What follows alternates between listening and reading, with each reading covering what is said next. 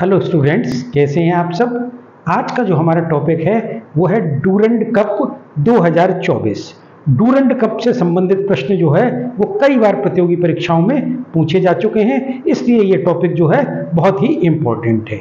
मैं हूँ विवेक सक्सेना और आप देख रहे हैं साहित्य भवन का यूट्यूब चैनल यदि आप किसी प्रतियोगी परीक्षा की तैयारी कर रहे हैं और मेरे YouTube चैनल पर नए हैं तो इस चैनल को अवश्य ही सब्सक्राइब कर लीजिए। अब आते हैं अपने टॉपिक पर डूरंड कप 2024 यह इसका कौन सा संस्करण था? तो यह इसका तैतीसवां संस्करण था।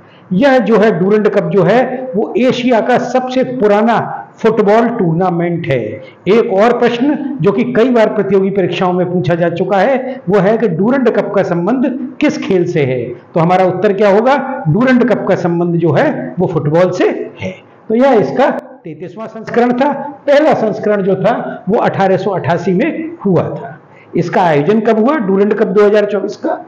27 जुलाई से 31 अगस्त 2024 के मध्य हुआ। इसमें कुल कितनी टीमों ने भाग लिया? तो इस, इसमें जो है 24 टीमों ने भाग लिया। कुल जो मैच जो है वो 43 खेले गए और कुल जो है इस टूर्नामेंट में गोल 144 हुए। डूरंड कप 2024 का प्रायोजक कौन था? तो डूरंड कप 2024 के प्रायोजक दो लोग थे, इंडियन ऑयल कारपोरेशन और कोल इंडिया।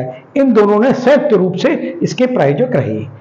पुरस्कार राशि कितनी रहती है डूरेंट कप की? तो डूरंड कप में विजेता टीम को जो है, वो 60 लाख रुपए पुरस्कार के रूप में मिलते हैं और उप विजेता को 30 लाख रुपए पुरस्कार के रूप में मिलते हैं। अब बात क्या आती है कि डूरेंट कप 2024 का विजेता कौन रहा? तो डूरेंट कप 2024 का विजेता नॉर्थ ईस्ट यूनाइटेड रहा, इसने ये टूर्नामेंट पहली बार जीता है। और इसने किसे हराया? तो इसने मोहन बागन सुपर जाइंट को हराया। अर्थात मोहन बागन सुपर जाइंट जो है, वो उप विजेता बना।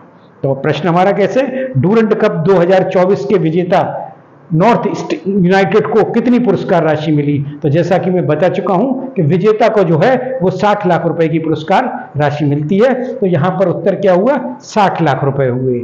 ये जो फाइनल मैच है, ये 31 अगस्त 2024 को कोलकाता के साल्ट लेक स्टेडियम में खेला गया। अब यहाँ पर एक प्रश्न और फ्रेम होता है कि साल्ट लेक स्टेडियम भारत में कहाँ स्थित है? तो हमारा उत्तर क्या होगा?